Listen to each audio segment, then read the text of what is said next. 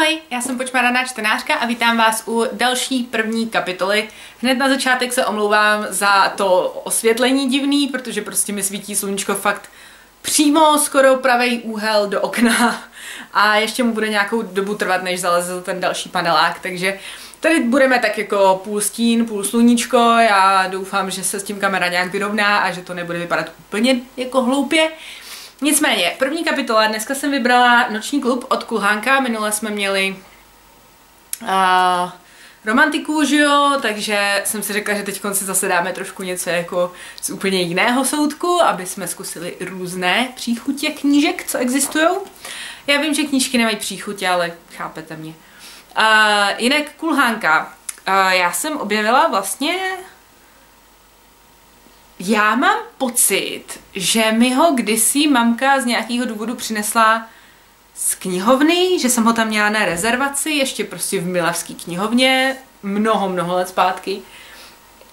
A ne, absolutně si nevybavuju, proč jsem si tam tu rezervaci vůbec kdy zadávala, protože prostě vůbec nevím, kdy jsem o té, kni- o té knížce o nočním klubu slyšela prvně. Ale potom vlastně mi mamka jednou donesla z knihovny, já jsem si ji přečetla, zjistila jsem, že je to úžasný a geniální a strašně brutální a vtipný.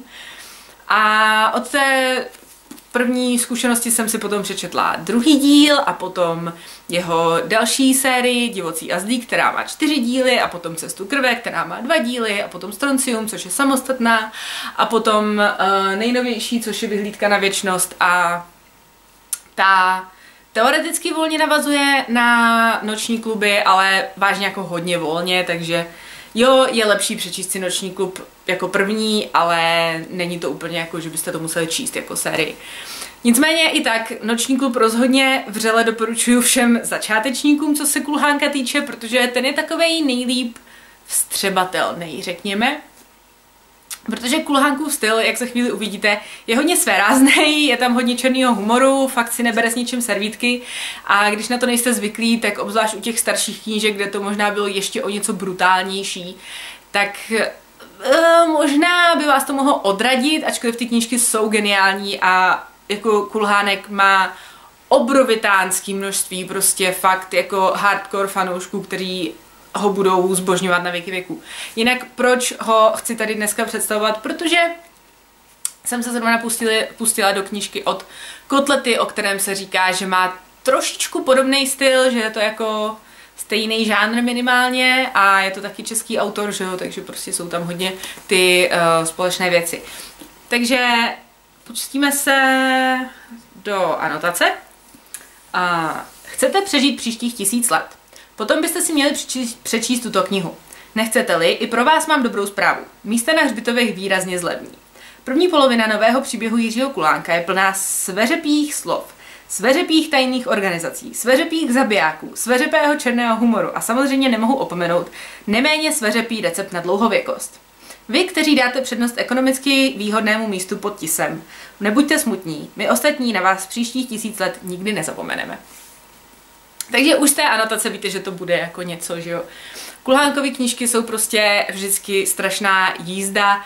Tahle je tak jako lehce o upírech, ale ne ani trošičku o těch běžných upírech, na který jste zvyklí a vůbec to není nic, co byste si jako dokázali představit, pokud ho neznáte. Takže nenechte se odradit tím, když vám někdo řekne, o, noční klub, to je knížka o upírech.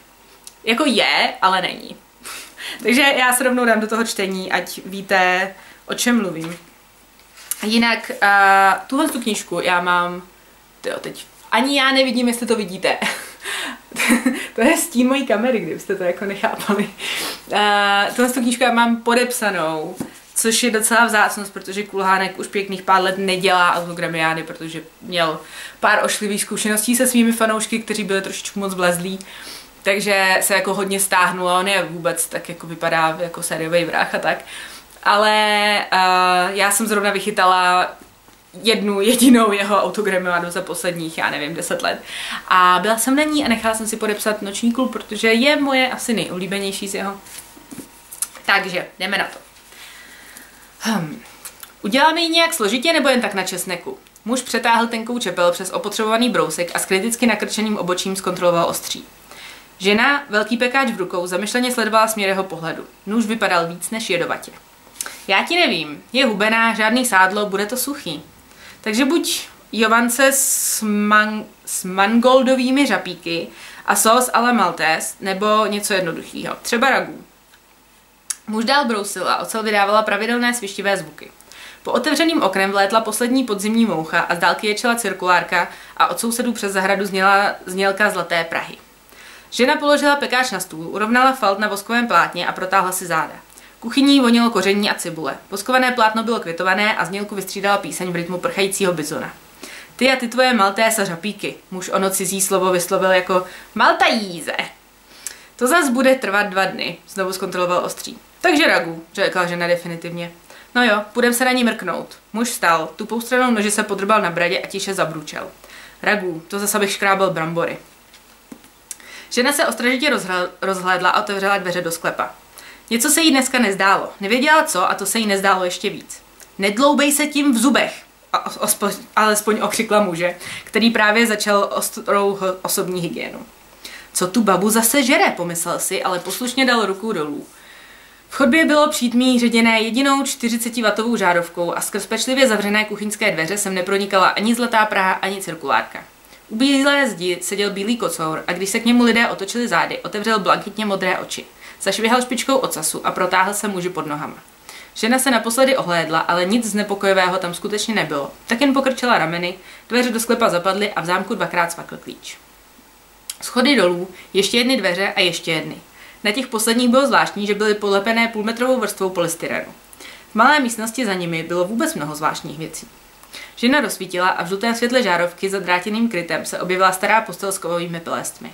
Na posteli byl flekatý slavník a na slavníku tak desetiletá holčička s rozsuchanými vlasy, obrovskýma očima a stopy zaschlých slz na ušmudlaných tvářích.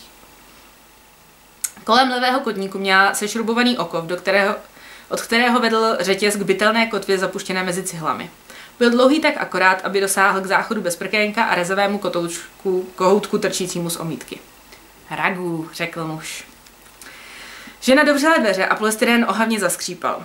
Hnědý kocour seděl u hnědé stěny ve stínu jednoho z drátů kryjících lampu.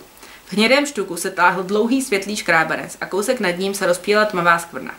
Protože obojí mělo být částečně skryté za chlupatým tělem, světlý, rám, skvě, světlý šrám křížil hnědý kožich a rozpitá skvrna přecházela na kocourovu hruď a levou polovinu hlavy až k uchu. Žena přejela pohledem přímo po zvířeti, ale neviděla nic. Holčička se schoulila a řetěz zařinčel. Neplakala. Věděla, že to ona nemá ráda. Neplakala, ale třásla se, až ková postel vrzala. Ale Jovance s mangolovými řepíky jsme neměli ani nepamatuju, že nasundala z hřebíku gumovou zástěru a zamyšleně si měřila holčičku, která sice byla hubená, ale rozhodně ne vychrtlá. Máme v mražáku trochu sádla od minulé, aby se to podlejvalo. Sklonila se nad slavník a promnula holčičce koleno. Jen aby nebyla tuhá, je pořád taková vyběhaná, to ty jejich aerobíky. Muž zatím z rohu místnosti přitlačil vysoký řeznický špalek. Pečlivě ho nastavil nad kanálek uprostřed podlahy a jednu nohu položil, podložil složeným papírem. Tak zabodl nůž do černalého dřeva a drnčivý zvuk vytrhl ženu z kulinářského zamyšlení. Holčička začala plakat. Byla sice malá, ale o tom, co ji čeká, neměla sebe menších pochyb. A i kdyby měla, ona jí to řekla už tehdy, když ji sem přivázali. Ona byla horší než on. Mnohem horší. Tak co, malá, co tomu říkáš, štípla žena do lítka. Tohle bude dneska k obědu, ty si ale moc nepochutnáš. A neřvi, kdo to má poslouchat. Holčička další vzdyk zadusila. Slabá žárovka nad dveřmi zablikala. Do háje, kdo to zase otravuje, zrovna teď.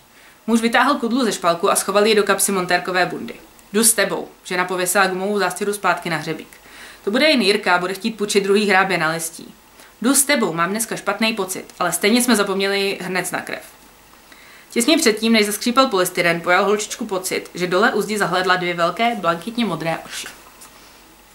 Dobrý den! Za dveřmi stála mladá usměvá žena v oranžové kšiltovce a oranžové kombinéce s nápisem Pražská plynárenská. Pan Václavík? Jo, co se děje? Pravidelná kontrola plynových spotřebičů. Oranžová měla přes rameno velký přístrojek, nevelký přístrojek, z kterého vedla kroucená šňůra k něčemu, co vypadalo jako mikrofon. Dneska? Dávali jsme do schránek upozornění, oranžová pokrčila rameny. Za čtvrt hodiny je to hotové, skočila panu Václavíkovi do otázky. Uh, No, jen pojďte dál, slečinko, usmála se paní Václavíková a přihladila si odbarvené vlasy s odrůstající trvalou. Jste tu sama? Koukám, bude zabíječka. Oranžová slečna kývla k pekáči na stole a kastrolům na kuchyňské lince. A možná větší, než by kdo čekal, usmála se paní Václavíková a přitom se dívala z okna. Tak sama. A přijela normálním autem, škodovkou, zelenou, jakých jsou miliony. A zaparkovala za Turkovic stodolou, tam, co nikdo nechodí a z celé vesnice tam není vidět. Dáte si kafe, slečinko? Ráda, ale až to doměřím, s by mi to čidlo. Oranžová strčila mikrofon na kroucence za sporák a zaujatě sledovala malý displej. Dobrý, pan Václavík se zvědavě podíval na nic neříkající čísla. Ano, ještě byste tady měli mít, vytáhla z kapsy pomačkaný papír a narovnala ho. Karmu a kotel. Papír, přestože pomačkaný, vypadal úředně. Karma je na chodbě a kotel, kotel je ve sklepě. Pan Václavík vrhl na oranžovou ostražitý pohled, ale ta si jeho kradmé odmlky nevšimla.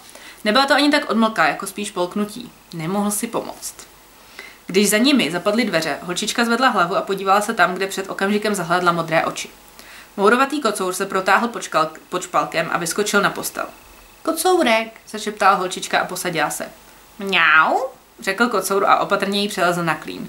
Malá třesoucí se ruka přejela po teplém kožichu a zvíře začalo příst. Holčičku kocoura, kocourova přítomnost nijak nepřekvapila. Za dobu, co byla tady v té místnosti, viděla i divnější věci.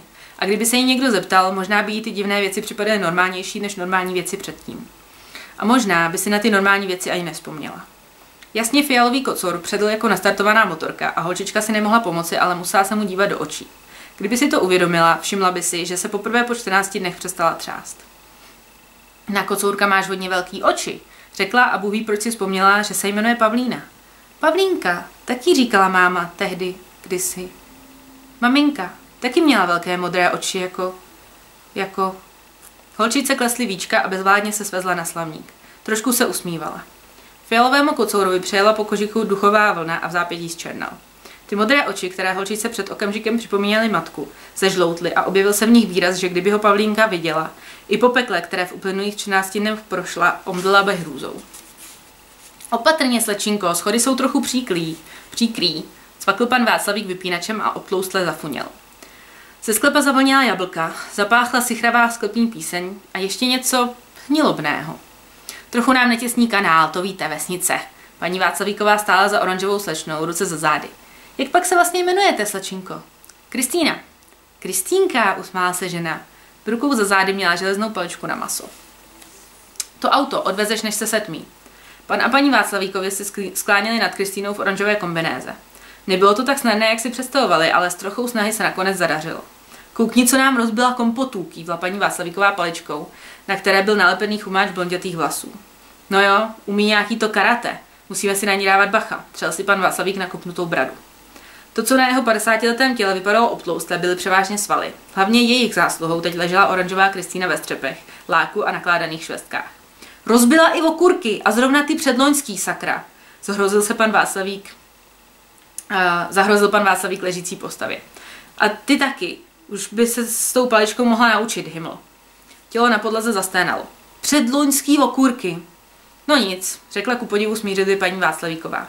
Každé uznání jejich kuchařských schopností ji těšilo a ty předloňské okurky se vážně povedly. Cvičně švihla paličkou.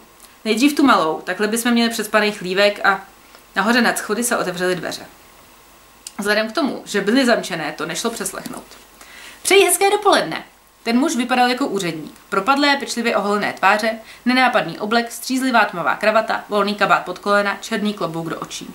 Sej mi ho, Jindřichu! Paní Václavíková namířila paličkou jako pistolí. To už ale pan Václavík běžel do schodu. Jaké vřelé uvítání! Vím, že venkované jsou pohostinní a bodří lidé, ale tohle jsem skutečně nečekal. Přestože úředník vypadal jako hůlka, v zápětí se Jindřichův metrák kutal zpátky, jak jen schody zaduněly. A paní Václavá, Václavíková už věděla, proč dnes ten špatný pocit. Stávej, troubo, musíš ho dostat. On, on, určitě tady není náhodou. Jak pravdivá slova, madam. Úředník zvolna, tak pružně, sestupoval k ním a motiky, již se Jindřich vyzbrojil, si nevšímal. Když mu pod podrážkami těžkých bot, na kterých nebylo úřednického pranic, zaskřípaly střepy z rozbitých zavařovaček, paní Václavíková zahlédla pod krempou i oči. Také na nich nebylo úřednického pranic. Paní, Václavíková změkle, paní Václavíkové změkla kolena a přitiskla si ruce s paličkou na hruď. Podle očí se pozná, co v kom je. A paní Václavíková, přestože smrti spatřila už mnoho, zjistila, že tolik naraz jí v životě neviděla. Motika obsala krátký svištivý oblouk. Dalším zvukem bylo nezaměnitelné ostré mlasknutí, s nímž dopadají tupé předměty do masa. V tom mlasknutí bylo i nezaměnitelné křupnutí kosti. Další zvuk opět vydala motika. Odrazila se ode zdi a rozbila jeden ze střepů na ještě menší střepy. Jindřich Václavík klesl na kolena, oši rozšířené úžasem a z rozdrcených úst mu vysel šlahoun krvavých hlenů. Opatrně, ať si nekleknete na sklo. Pořezaná kolena bolí. Úředník zvedl z podlahy okurku, otřeli orka a opatrně ukousl. Výborná, skutečně, všechna čest, paní Václavíková. Mohu vám říkat Heleno? Ano. Vypadáte s tou paličkou jako jeden egyptský bůh, paní Heleno. Bůh smrti? Uh, ano, svěsila paní Václavíková ruce k boku. Ani si to neuvědomila. Před očima jí stále probíhal ten kratičký okamžik, ve kterém se úředník, tak jakoby mimochodem, vyhnul motice a v zápětí úderem pěsti zmrzačil jejího Jindřicha. Tak tedy předpokládala, že to byla pěst. Pohyb byl tak rychlý, že vlastně nic neviděla. Po strachu, co tu děláš? Mám to pod kontrolou, ozvalo se od podlahy. Hmm, vsunul si úředník do úst zbytek nakládačky. Kristýno, rád tě slyším, mluvil trochu křupavě. Jak je tam dole mezi švestkami? Podívej, máš tam zrovna okurku, podala bys mi ji, prosím? V hlase měl krom křupání i potlačovaný smích. Mladá žena se postavila, na levé tváři proužek krve z, rozra- z rozražené hlavy na pravé rozmázlou. Hm. To je jistě bluma v rumu, co máš na obličeji. Ochutnej. Paní, Václavík, pa, paní Václavíková je pravý kuchařský mistr. Postrach se lehce uklonil stále skoprnělejší paní domu. Ach ano, a tím se dostáváme k hlavnímu důvodu naší návštěvy. Naší kulinářské návštěvy. Panu Václavíkovi blesklo mezi bolestí z rozbité čelisti. Zdali se mu to předtím nezdálo, že by v tom hlase vůbec kdy mohl slyšet smích. Kde ji máte? Ani v Kristýnině hlase nebylo nic, co by kdo chtěl poslouchat příliš dlouho. Přesto nikdo neodpověděl. Postrach si protáhl prsty. Paní Václavíková si všimla, že má černé bezprsté rukavice. Na kloubech pravé byl vytlačený profil zubů jejího manžela. Tam, v chlívku, zabublal pan Václavík a než slovům bylo rozumět spíše jeho ruce, která ukazovala na jednu z polic, za kterou byly první dveře do tajných částí sklepa. No tak se tedy do chlívku půjdeme podívat. Do chlívku. Kristýna, nepřinesla bys mi prosím aktovku? Je nahoře na chodbě. Až po vás, přátelé, usmál se úředník na Václavíkovi. Na slamníku před spící holčičkou seděl černý kocour a Jindřichovi se z jeho očí zvedal žaludek. Dal by půl života za pořádnou štamprli, hlavně před tím, co chtěl udělat, o co se chtěl pokusit. Na nůž kapse montérkové bundy nezapomněl ani na okamžik. To je čtrnáctka, že? Co? Tady, zvedl postrach ko- kotník s okovem. Jo, klíč, čtrnáctka, jo. S rozdrcenou spodní čelistí se mluví vážně špatně. Když se úředník znovu sklonil nad holčičku, vytrhl Jindřich Václavík nůž z kapsy. Věděl, že záda v kabátě nemůže minout. Další děj vnímal jen jako sled diapozitivu. Záda zmizela. Zápěstí ruky s nožem obemkl svěrák v bezpesté rukavici. Nůž zmizel. Jindřichu, Jindřichu, postrach zavrtěl hlavou. Hezký nůž, ostrý. Vy jste pravák, Jindřichu, že? Pra... Pravák, proč?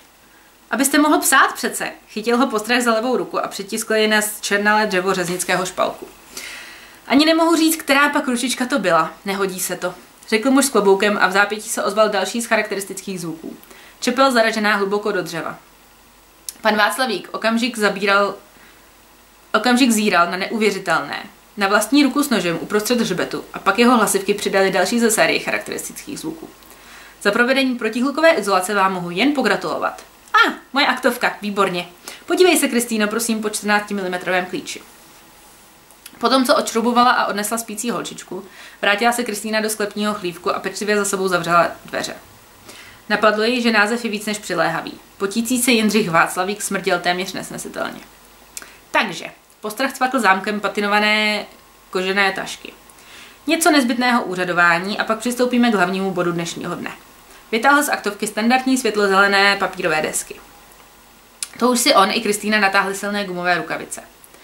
Takže, zopakoval postrach, otevřel desky a vytáhl několik papírů. Paní Helena Václavíková, rozená Čeřovská, pane Jindřichu Václavíku. Vznáším proti vám obvinění z mnohočetných trestných činů, únosů, vraždy a kanibalismu. Máte-li k tomu co dodat, řekněte to prosím nyní. Jsme nevinní, poprvé v pochmurné místnosti promluvila paní Václavíková. Naprosto netušila, co se bude dít, ale papíry a úřední tón toho člověka jí dali naději, že to přece jen dopadne dobře. Třeba jsou to policajti. Nějací divní, ale policajti. Nevinní, ano, myslel jsem si to. Nevinní jsme do určité míry všichni. Jména vašich obětí číst nebudu, když jste nevinní, jen bych poprosil, abyste mi napsali, co jste udělali se zbytky těl. Postrach položil na špalek psací podložku s papírem a propisovačku. Nic jim nepiš, Jindřichu, jsme nevinní a máme svá práva. Paní Václavíková je rostlo sebevědomí. Okamžik od okamžiku a vy si to... Okamžik od okamžiku. A vy si to pěkně odskáčete, probodnout manželovi ruku. Pište, Jindřichu, prosím. Postrach vyndal z aktovky velké štípačky s modrými gumovými rukojeťmi a Kristýně odpírající se o polystyren na dveřích se v ruce objevila hranatá pistole. Co s těma kleštěma? Obvykle je používám na manikúru. Jindřich se podíval do stínu pod krempou a začal psát. Bylo toho docela dost, ale měl dobrou paměť a zbylé kosti vždycky zakopával on. Výborně, výborně. Tak jich bylo 12, věděli jsme jen o osmi. Postrach vrátil podložku na špalek. Ještě bych poprosil o datum a podpis, plným jménem. Propisovačka zavrzala. Teď vy, madam. Podal papír paní Václavíkové sedící na slamíku. Nic nepi- nepodepíšu a chci svého právního zástupce. Právního zástupce? Asi se přes příliš díváte na televizor, madam. Pr- právního zástupce nemáme. Co takhle odborného manikéra? Vy jste také pravačka, že? Štípačky kovově zacvakaly. Sice na prázdno, ale paní Václavíková podepsala. To bychom měli. Přidal postrach papír do světle znaných desek. Psací podložku vrátil do aktovky a zároveň z ní vendal rozměrné umělohmotné pouzdro. Paní Heleno Václavíková, pane Jindřichu Václavíku, tímto vás jménem nočního klubu odsuzuju k smrti. Bez odvolání. Jindřich Václavík si připadal jako ve snu. Ten úředník vytáhl z kazety nastřelovací kladivo. Nastřelil do stropu dvě ocelová oka a do každého zavěsil jednoduchou oprátku z modrého silikonového provazu. Silonového. Pak pečlivě změřil vzdálenost podlaze a obě trochu zkrátil. Poprava bude vykonána i hned oběšením. To ten neuvěřitelný člověk řekl, když kazeta s kladivem zmizely zpátky v aktovce.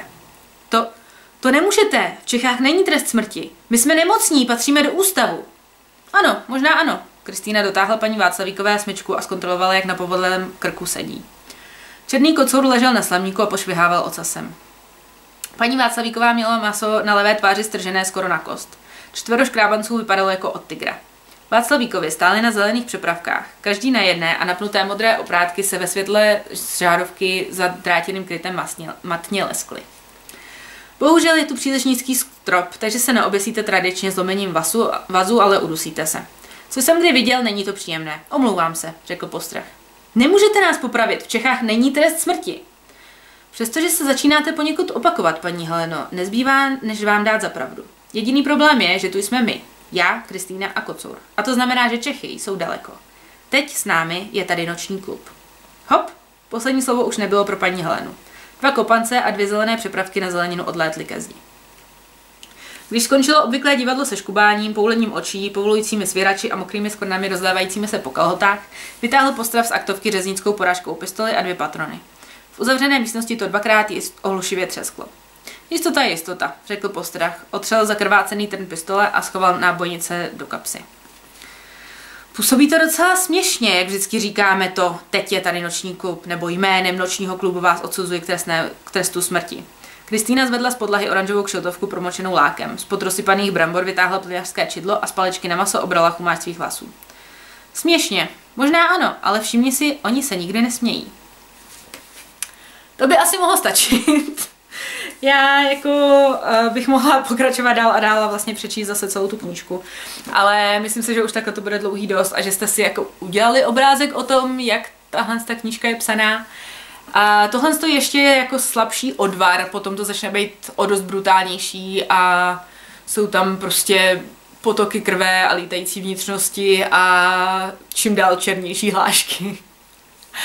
Ale prostě mě tohle strašně baví, je to fakt totální oddychovka. Je to absolutní brak, samozřejmě, ale je to perfektní brak. Takže rozhodně noční klub vřele doporučuju, pokud nemáte úplně jako slabý žaludek, protože ono to není nechutný, že jo, protože je to jako takový hodně přehnaný, ale těch jako drsných věcí je tam dost. Takže pro někoho outlocitného by to možná nemuselo úplně být jako vhodný. Takže tak, to už asi všechno. Vy mi do komentářů napište, jestli znáte Noční klub nebo cokoliv dalšího od Kulhánka. Jestli vás to zaujalo, pokud jste to ještě nečetli, jestli si to chcete přečíst. Bohužel vás musím varovat, že Kulhánkové knížky se nedají koupit, takže doporučuji knihovny. A jinak uh, jsou všechny k dostání na internetu normálně v pdf prostě ke stažení. Což obvykle obvykle odsuzuju, ale tím, že sám pan Jiří Kulhánek odmítá absolutně povolovat dotisky svých knížek, tak své fanoušky prostě nutí, pokud si chtějí ty knížky přečíst doma prostě v pohodlí a nemají je zrovna v knihovně, si je jako stáhnout, že jo? Bohužel. Takže tak, to je všechno. Vy mi dolů do komentářů napište, co na pana Kulhánka říkáte a mějte se krásně. Ahoj.